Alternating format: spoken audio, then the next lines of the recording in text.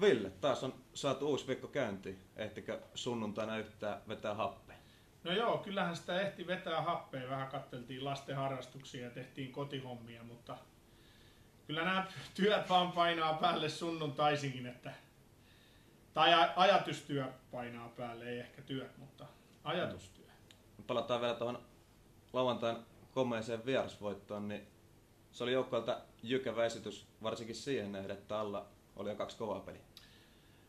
Joo, meillä oli lauantaina semmoinen valmistautuminen, että kaikki muu kuin voitto ei kelpaa. Että, että se, se niin kuin, me, me haastettiin joukko, että me onnistuttiin siinä, siinä että, että me, kun me IFKta vastaan mentiin kaksi pykälää eteenpäin, niin me oltiin siinä mielentilassa, että nyt me mennään kolme eteenpäin me otettiin se haaste vastaan ja, ja pelattiin niin kuin nöyrä, rohkea ja ennen kaikkea viisas ottaja.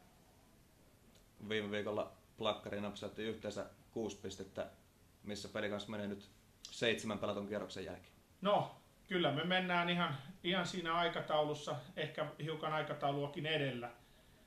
Ollaan kärsivällisiä, ollaan pitkämielisiä ja, ja, ja semmoinen määrätynlainen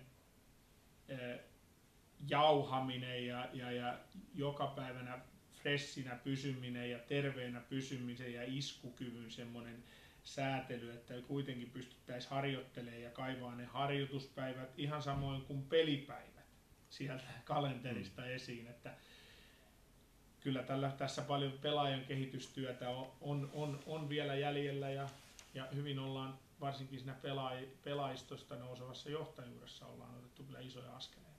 No jos pureudutaan vielä yksilöpuolelle, niin Olkinuora ja Zohorna sai Turussa isot onnistumiset ja tuntuu, että koko joukkueen itseluottamus on tällä hetkellä aika hyvällä mallilla.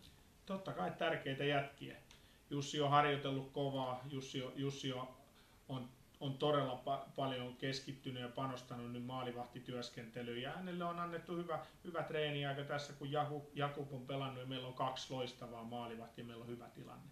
Ja sitten tietysti Soho, Soho on koko ajan ollut oma itsensä ja, ja, ja hauska veijari tossa ja on vaan odotettu, koska se, koska se ensimmäinen mm. maali tulee ja miehellä melkein on jo pinna per peli, että kyllä me tyytyväisiä Sohoon ollaan. Soho, Soho tuo tuohon semmoista hyvää ilmettä ja paljon on tekemättömiä maaleja odottamassa Sohon käsittelyä. Seuraava haaste odottaa tiistaina kärppien vieraana. Ensinnäkin millä kulkuvälineillä pelikanimatkaa on? No niin, tiistai aamuna sitten lähdetään tietysti sinne ö, ensiksi tästä Helsinkiin linja-autolla ja sitten mennään lentokoneella oikein, oikein suihkukoneella mennään, mennään Ouluun ja pelataan ja sitten keskiviikkona jumpataan siellä aamu, aamujumppailut ja sitten tullaan koneella takaisin bussilla Helsingistä Lahteen ja sitten, sitten torstaina, torstaina valmistaudutaan sitten siihen, mitä, mitä torstai tuo tullessaan. No vielä itse tiistain pelistä, niin lyhyesti millaista vääntöä odotat kärppiä? No joo, maksimaalinen haaste. Mutta meillä on hyvä viime, viime lauantailta nyt kokemus tuolta Turusta, niin me tiedetään, että mitä odottaa, kun on huippujoukkue vastassa.